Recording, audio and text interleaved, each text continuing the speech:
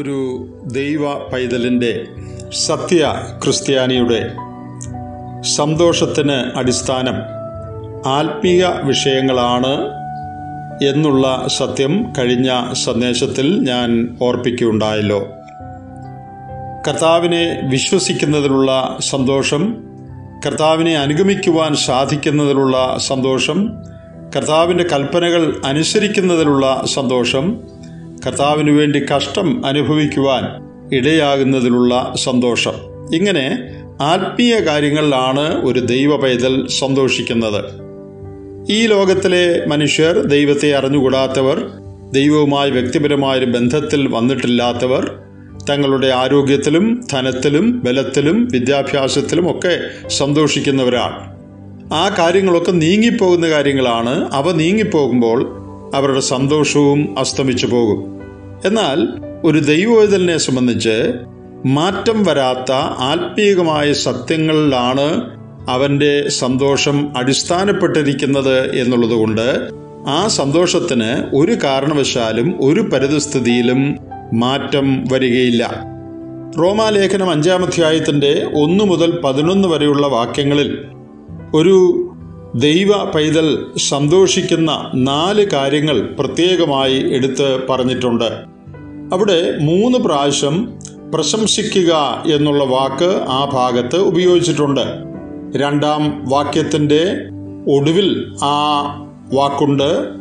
അതുപോലെ താഴോട്ട് വായിക്കുമ്പോൾ അതിന്റെ മൂന്നാം വാക്യത്തിന്റെ ഒടുവിൽ അല്ലെങ്കിൽ നാലാം വാക്യത്തിന്റെ ആദ്യ ഭാഗത്ത് ആ വാക്ക് വരുന്നുണ്ട്. കൂടാതെ പതിനൊന്നാം വാക്യത്തിലും ആ വാക്ക് വരുന്നുണ്ട്. ഇവിടെ മലയാള വേദപുസ്തകത്തിൽ പ്രശംസിക്കുക എന്നുള്ള വാക്കാണ് ഉപയോഗിച്ചിരിക്കുന്നത്. ആ വാക്ക് സന്തോഷിക്കുക എന്നുള്ള വാക്ക് തന്നെയാണ്. ഇംഗ്ലീഷിലെ പല തർജമകൾ നോക്കിയാൽ റിജോയ്സ് എന്ന് തന്നെയാണ് അവിടെ തർജമ ചെയ്തിരിക്കുന്നത്. കർത്താവിൽ എപ്പോഴും സന്തോഷിപ്പീൻ എന്ന് പറയുന്ന പോലെ സന്തോഷിക്കുന്ന നാല് കാര്യങ്ങൾ ഈ ഭാഗത്ത് എടുത്ത് പറഞ്ഞിട്ടുണ്ട്. അത് എന്തൊക്കെയാണ് എന്ന് നമുക്ക് നോക്കാം. ഒന്നാം വാക്യം പറയുന്നത് വിശ്വാസത്താൽ നീതീകരിക്കപ്പെട്ടിട്ട് നമ്മുടെ കർത്താവായ യേശുക്രിസ്തു മൂലം നമുക്ക് ദൈവത്തോട് സമാധാനമുണ്ട്. നാം നിൽക്കുന്ന ഈ കൃപയിലേക്ക് നമുക്ക് അവൻ മൂലം വിശ്വാസത്താൽ പ്രവേശനവും ലഭിച്ചിരിക്കുന്നു. നാം ദൈവദേശന്റെ പ്രത്യാശയിൽ പ്രശംസിക്കുന്നു.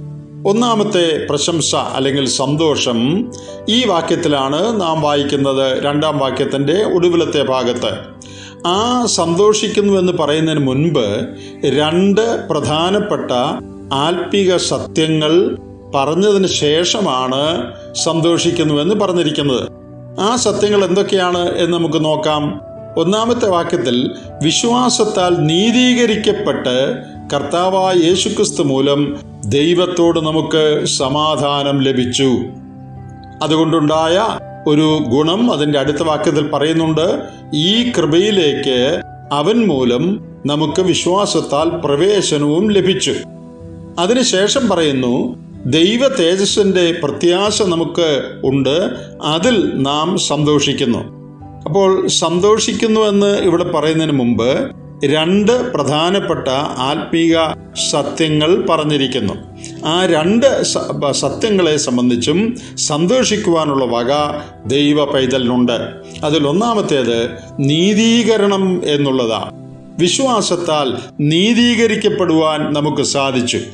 റോമാലേഖനത്തിന്റെ ആദ്യ ഭാഗം മുതൽ നാം വായിച്ചു വരുമ്പോൾ എല്ലാവരും പാപികളാണ് എന്നുള്ള സത്യം അതിന്റെ ആദ്യ അധ്യായങ്ങളിൽ അരക്കിട്ട് ഉറപ്പിക്കുന്നുണ്ട്. മൂന്നാം അധ്യായത്തിന്റെ പത്തൊൻപതാം വാക്യവും ഇരുപത്തിമൂന്നാം വാക്യവും എല്ലാവരും പാപികളാണ് എന്നുള്ള സത്യം വ്യക്തമായി പറയുന്നുണ്ട്. എല്ലാവരും ദൈവസന്നിധിയിൽ കുറ്റക്കാരാണ് റോമാലേഖനം എട്ടാം അധ്യായത്തിന്റെ മുപ്പത്തിമൂന്നാമത്തെ വാക്യത്തിൽ എന്നാൽ അങ്ങനെയുള്ള പാപികളെ നീതീകരിക്കുന്നവനാണ് ദൈവം എന്ന് നാം വായിക്കുന്നുണ്ട്.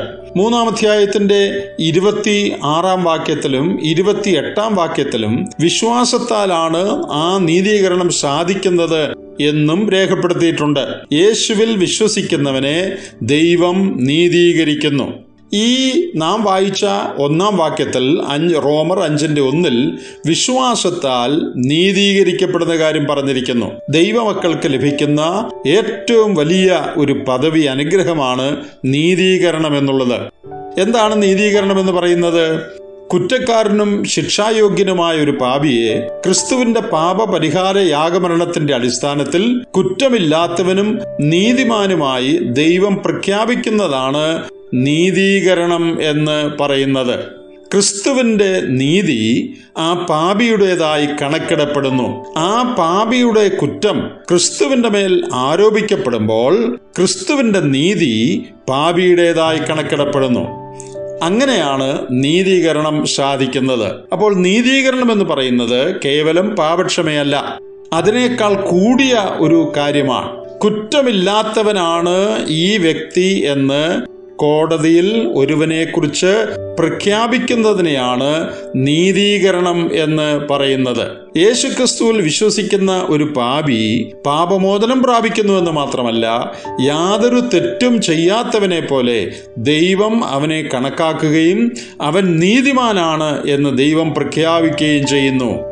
അതാണ് നീതീകരണം. എത്രയോ വലിയ എത്രയോ അനുഗ്രഹിക്കപ്പെട്ട ഒരു സത്യമാണത്. ഞാനൊരു പാപിയാണെന്നും എന്റെ പാപത്തിന്റെ പരിഹാരത്തിനായിട്ട് യേശുക്രിസ്തു ക്രൂശിൽ മരിച്ചപ്പോൾ എന്റെ പാപത്തിന്റെ ശിക്ഷയാണ് അവൻ അനുഭവിച്ചത് എന്നും വിശ്വാസത്താൽ അംഗീകരിക്കുകയും പാപങ്ങളുടെ മോചനത്തിനായി ആ ക്രിസ്തുവിൽ ശരണപ്പെടുകയും ചെയ്യുന്ന ഒരുവന് ആ നിമിഷം തന്നെ പാപമോചനം ലഭിക്കുന്നു എന്ന് മാത്രമല്ല അവനെ നീതിമാനായി ദൈവത്തിന്റെ കോടതി പ്രഖ്യാപിക്കുന്നു. അവൻ ഇനി കുറ്റക്കാരനല്ല. അവൻ നീതിമാനാണ്. ആ പ്രഖ്യാപനത്തെയാണ് നീതീകരണം എന്ന് പറയുന്നത്. യേശുക്രിസ്തുവിൽ വിശ്വസിക്കുന്നതിനാൽ ഒരുവന് ലഭിക്കുന്ന വലിയൊരു അനുഗ്രഹമാണ് അവൻ നീതീകരിക്കപ്പെടുന്നു എന്നുള്ളത്. അതിന്റെ ഫലമായി സംഭവിക്കുന്ന കാര്യങ്ങൾ അതിന്റെ അടുത്ത വാക്യങ്ങളിൽ പറയുന്നുണ്ട്. ആ നീതീകരണം സാധിക്കുന്നുണ്ട്. ദൈവത്തോട് സമാധാനം ലഭിക്കുന്നു. പണ്ട് ദൈവത്തോട് ശത്രുതയായിരുന്നു. എന്നാൽ ഇപ്പോൾ ആ ശത്രുത നീങ്ങി ദൈവത്തോട് സമാധാനം ലഭിക്കുന്നു. മാത്രമല്ല ഒരു വലിയ ആ പ്രവേശനം അവന് ലഭിക്കുകയാണ്. ഈ കൃപയിലേക്ക് അവൻ ഒരിക്കലും അർഹിക്കാത്തതായ ഒരു സ്ഥാനത്തേക്ക് അവൻ നീതീകരിക്കപ്പെട്ടതിന്റെ അടിസ്ഥാനത്തിൽ വിശ്വാസത്താൽ അവന് പ്രവേശനം ലഭിക്കുന്നു. എത്ര വലിയ അനുഗ്രഹങ്ങളാണ് നീതീകരണത്തോടൊപ്പം സാധിക്കുന്നത്. ദൈവത്തോട് സമാധാനം ലഭിക്കുന്നു. ദൈവകൃപയിലേക്ക് പ്രവേശനം ലഭിക്കുന്നു. നീതീകരണത്തിന്റെ നന്മകളാണ് അവ. അത് ഒരു വിശ്വാസിക്ക് സന്തോഷിക്കുവാൻ ഏറ്റവും മതിയായ ഒരു കാരണമാണ്. കഴിഞ്ഞ കാലത്തേക്ക് തിരിഞ്ഞു നോക്കി ഞാൻ യേശുക്രിസ്തുവിൽ വിശ്വസിച്ച് നീതീകരിക്കപ്പെടുവാൻ ഇടയായി എന്നുള്ളത് അവനെന്നും സന്തോഷിക്കുവാൻ മതിയായ ഒരു വിഷയമാണ്. ഇനി അടുത്ത സന്തോഷ വിഷയം ഭാവിയോടുള്ള ബന്ധത്തിലുള്ളതാണ്. ആ രണ്ടാം വാക്യത്തിന്റെ ഒടുവിൽ നാം വായിക്കുന്നത് ദൈവ തേജസ്സിന്റെ പ്രത്യാശയിൽ പ്രശംസിക്കുന്നു. കർത്താവ് വരുമ്പോൾ അവനോടുകൂടെ ഞാനും തേജസ് ധരിക്കുന്നവനായി തീരുമെന്നുള്ള വലിയ പ്രത്യാശ ഒരു ദൈവ പൈതലിനുണ്ട് ഈ നാശമയമായ ശരീരത്തിന് മാറ്റം വരികയും തേജസ്കരണം എനിക്ക് ലഭിക്കുകയും ചെയ്യും. കർത്താവിന്റെ തേജസ് എനിക്ക് ലഭിക്കുവാൻ പോകുകയാണ്. മുമ്പോട്ട് നോക്കുമ്പോൾ ആ വലിയ പ്രതീക്ഷയാണ് ഒരു ദൈവ പൈതലിനുള്ളത് ആ ദൈവതേജസ്സിന്റെ പ്രതീക്ഷയിൽ അവൻ സന്തോഷിക്കുകയാണ്. നോക്കുക. കഴിഞ്ഞ കാലത്തേക്ക് തിരിഞ്ഞു നോക്കുമ്പോൾ പാപക്ഷമ പ്രാപിച്ചു എന്ന് മാത്രമല്ല എന്നെ നീതിമാനായ ദൈവം പ്രഖ്യാപിച്ചല്ലോ എന്നോർത്ത് അവന് സന്തോഷിക്കാൻ വകയുണ്ട്. ഭാവിയിലേക്ക് നോക്കുമ്പോൾ ഞാൻ കർത്താവിന്റെ വരവിൽ തേജസ് ലഭിക്കുവാൻ പോകുന്നവനാണ്. ഞാൻ തേജസ് ധരിക്കുവാൻ പോകുകയാണ് എന്നുള്ള വലിയ സന്തോഷവും അവനുണ്ട്. അപ്പോൾ ഭൂതകാലത്ത് സന്തോഷിക്കാൻ വകയുണ്ട് ഭാവി കാലത്തെ നോക്കിയും സന്തോഷിക്കാൻ വകയുണ്ട്. ഇനി ഒരു കാലം കൂടെ ഉണ്ട് അത് വർത്തമാനകാലമാണ്. അത് ഇന്നത്തെ ഈ ലോകത്തിലെ ജീവിത കാലമാണ്. ഈ കാലത്ത് എന്തുണ്ട്? നാലാം വാക്യം പറയുന്നത് ഈ കാലത്ത് കഷ്ടങ്ങളുണ്ട്. ഈ ലോക ജീവിതത്തിൽ നാം ഇപ്പോൾ ഈ ശരീരത്തിൽ ജീവിക്കുമ്പോൾ പലതരത്തിലുള്ള കഷ്ടങ്ങൾ നമുക്കുണ്ട്. എന്നാൽ ആ കഷ്ടങ്ങളിലും പ്രശംസിക്കുന്നു എന്നാണ് മൂന്നാം വാക്യത്തിൽ നാം വായിക്കുന്നത്. എങ്ങനെയാണ് കഷ്ടങ്ങളിൽ സന്തോഷിക്കാനായിട്ട് സാധിക്കുന്നത്? അവിടെ പറയുന്നു ചില കാര്യങ്ങൾ അറിയാമെങ്കിൽ കഷ്ടങ്ങളിൽ സന്തോഷിക്കാൻ കഴിയും. എന്തൊക്കെയാണ് അറിയേണ്ടത്? കഷ്ടത സഹിഷ്ണുതയെ ഉളവാക്കുന്നു. സഹിഷ്ണുത എന്ന് പറഞ്ഞാൽ ദൈവത്തിന്റെ ബലമുള്ള കൈക്കീഴ് താണിരിക്കുന്ന അനുഭവമാണ്. ആ സഹിഷ്ണുത സിദ്ധതയെ ഉളവാക്കുന്നു. സിദ്ധത എന്ന് പറഞ്ഞാൽ തെളിഞ്ഞ സ്വഭാവം എന്നാണ് അർത്ഥം. ആ സിദ്ധത പ്രത്യാശയെ ഉളവാക്കുന്നു. നമുക്ക് മുൻപോട്ട് സന്തോഷത്തോടുകൂടെ നോക്കുവാനുള്ള അവസരം അത് നമുക്ക് തരുന്നു. മാത്രമല്ല ആത്മധൈര്യം കോൺഫിഡൻസോടുകൂടെ ജീവിതത്തെ നേരിടുവാനുള്ള കഴിവ് നമുക്ക് ലഭിക്കുന്നു. ഇതെല്ലാം കഷ്ടങ്ങൾ നിമിത്തം നമുക്ക് സാധിക്കുന്നതാണ്. അപ്പോൾ കഷ്ടത സഹിഷ്ണുതയെ അല്ലെങ്കിൽ ക്ഷമയെ ഉളവാക്കും. ആ ക്ഷമ തെളിഞ്ഞ സ്വഭാവത്തെ ഉളവാക്കും. അത് നമുക്ക് വലിയ ആത്മധൈര്യവും പ്രത്യാശയും നൽകും. ആ നിലയിൽ കഷ്ടത നമ്മുടെ നന്മയ്ക്ക് വേണ്ടിയുള്ളതാണ് നമ്മുടെ സ്വഭാവ സംസ്കരണത്തിന് വേണ്ടിയുള്ളതാണ് ഇത് അറിയുന്ന ഒരു വിശ്വാസിക്ക് കഷ്ടങ്ങളിൽ സന്തോഷിക്കാനായിട്ട് സാധിക്കും. അപ്പോൾ കഴിഞ്ഞ കാലത്ത് നീതീകരണത്തെ ഓർത്ത് സന്തോഷിക്കാം ഭാവി കാലം നോക്കി ലഭിക്കുവാൻ പോകുന്ന തേജസ് ഓർത്ത് സന്തോഷിക്കാം വർത്തമാനകാലം നോക്കി അവിടുത്തെ കഷ്ടങ്ങൾ ബുദ്ധിമുട്ട് പ്രയാസങ്ങൾ ഇതൊക്കെ വേദനപ്പെടുത്തുന്നതാണെങ്കിലും അതെല്ലാം എന്റെ സ്വഭാവ സംസ്കരണത്തിന് നന്മയ്ക്കുമാണ് എന്നറിഞ്ഞ് അതിലും സന്തോഷിക്കാനായിട്ട് സാധിക്കും. ആ ഭാഗം അവസാനിപ്പിക്കുമ്പോൾ അതിന്റെ പതിനൊന്നാമത്തെ വാക്യത്തിൽ അത്രയുമല്ല നമുക്കിപ്പോൾ നിരപ്പ് ലഭിച്ചതിന് കാരണമായ നമ്മുടെ കർത്താവായ യേശുക്രിസ്തു മുഖാന്തരം നാം ദൈവത്തിൽ പ്രശംസിക്കുകയും ചെയ്യുന്നു. ഈ എല്ലാ അനുഗ്രഹങ്ങളും നമുക്ക് ലഭിക്കുവാൻ കാരണമായി തീർന്നത് ദൈവത്തിന്റെ കരുണ ദൈവത്തിന്റെ കൃപ ദൈവത്തിന്റെ സ്നേഹം നിമിത്തമാണ്. ഇവിടെ അപ്പോസ്തലൻ പറയുകയാണ് ദൈവത്തിൽ നമുക്ക് പ്രശംസിക്കാൻ കഴിയും. ഇത്രയും നേരം നാം പറഞ്ഞത് ദൈവം നൽകുന്ന അനുഗ്രഹങ്ങൾ പ്രശംസിക്കുന്ന കാര്യമാണ്. ദൈവം നമുക്ക് നല്ല സ്വഭാവം തരുന്നു ദൈവം നമുക്ക് തേജസ് തരുന്നു ദൈവം നമുക്ക് നീതീകരണം നൽകുന്നു അതിൽ സന്തോഷിക്കുക. എന്നാൽ ഇവിടെ ആ ഭാഗം പറഞ്ഞ് അവസാനിപ്പിക്കുമ്പോൾ ദൈവത്തിന്റെ നന്മകളിലും അനുഗ്രഹങ്ങളിലുമല്ല ദൈവത്തിൽ തന്നെ സന്തോഷിക്കുവാൻ നമുക്ക് സാധിക്കുന്നുവെന്ന് പറയുന്നു. അത് എത്രയോ വലിയ ഒരു അനുഗ്രഹമാണ്. ഈ ലോകത്തിൽ അനേക ആളുകൾ ദൈവം തരുന്ന നന്മകളിൽ സന്തോഷിക്കുന്നവരാണ്. അതിൽ തെറ്റൊന്നുമില്ല. ദൈവം നന്മകൾ തരുമ്പോൾ അതിൽ സന്തോഷിക്കുന്നതിൽ തെറ്റില്ല. എന്നാൽ ആ അവസ്ഥയിൽ നിന്ന് ആത്മീകമായിട്ട് വളർന്ന് വളർന്ന് വളർന്ന് നന്മകളിലല്ല നന്മകളുടെ ദാതാവായ ദൈവത്തിൽ തന്നെ സന്തോഷിക്കുന്ന ഒരു നിലയിലേക്ക് നാം ഉയരേണ്ടതാണ്. നമുക്കറിയാം കൊച്ചു കുട്ടികളൊക്കെ സമ്മാനങ്ങൾ ഇഷ്ടപ്പെടുന്നവരാണ് എന്നാൽ പ്രായമാകും തോറും വലുതാകും തോറും ചെറിയ ചെറിയ സമ്മാനങ്ങളല്ല സന്തോഷ വിഷയമായി തീരുന്നത്. എന്റെ ഭർത്താവ് അല്ലെങ്കിൽ എന്റെ ഭാര്യ ദൂരദേശത്തെ സന്ദർശനം കഴിഞ്ഞ് വരുന്നു. എന്റെ സന്തോഷം എന്ന് പറയുന്നത് ആ ആൾ വരുന്നു എന്നുള്ളതാണ് എനിക്കെന്തെങ്കിലും കൊണ്ട് തരുമെന്നുള്ളതല്ല സന്തോഷത്തിന്റെ വിഷയം. അനേക നാളുകളായി കാണാതിരുന്ന ആ വ്യക്തി ഞാൻ സ്നേഹിക്കുന്ന ആ വ്യക്തി മടങ്ങി വരുന്നു. തന്റെ സാന്നിധ്യം എനിക്ക് ഇനി അനുഭവിക്കാനായിട്ട് കഴിയും. ആ ബന്ധം ആ ദൃഢമായ ആ ബന്ധം അതാണ് സന്തോഷത്തിന് അടിസ്ഥാനം. എന്നാൽ കുഞ്ഞുങ്ങളെ സംബന്ധിച്ച് വരുന്നവർ എന്ത് കൊണ്ടുവരും? എന്ത് സമ്മാനം നൽകും? എന്ത് മിഠായി നൽകും? ഇതിലാണ് അവരുടെ സന്തോഷം ഇരിക്കുന്നത്.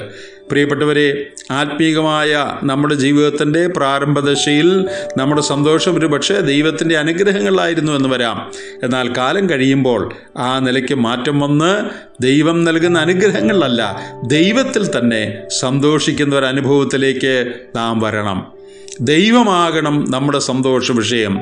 ഇയോബിന്റെ പുസ്തകത്തിൽ ഇയോബിന്റെ ഭാര്യ ദൈവം നൽകുന്ന അനുഗ്രഹങ്ങളിൽ സന്തോഷിക്കുന്നവളായിരുന്നു. അതുകൊണ്ടാണ് ആ അനുഗ്രഹങ്ങൾ നഷ്ടപ്പെട്ടപ്പോൾ ദൈവത്തെ ത്വജിച്ച് പറഞ്ഞ് മരിച്ചു കളക എന്ന് പറഞ്ഞത്. എന്നാൽ യോബ് ദൈവം നൽകിയ അനുഗ്രഹങ്ങൾ സന്തോഷിക്കുന്നവനായിരുന്നില്ല.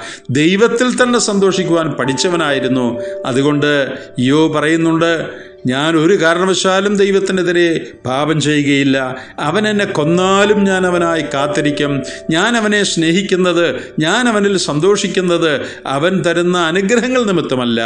അവനിൽ തന്നെയാണ് ഞാൻ സന്തോഷിക്കുന്നത്. ഈ ആത്മീയ നിലവാരത്തിലേക്ക് നാം ഉയരേണ്ടത് ഒരു ആവശ്യമാണ്. അപ്പോൾ ദൈവമക്കളെ സംബന്ധിച്ച് കഴിഞ്ഞ കാലത്തേക്ക് തിരിഞ്ഞു നോക്കി അവർക്ക് നീതീകരണം ലഭിച്ചു എന്നുള്ളതിൽ സന്തോഷിക്കാൻ വകയുണ്ട്.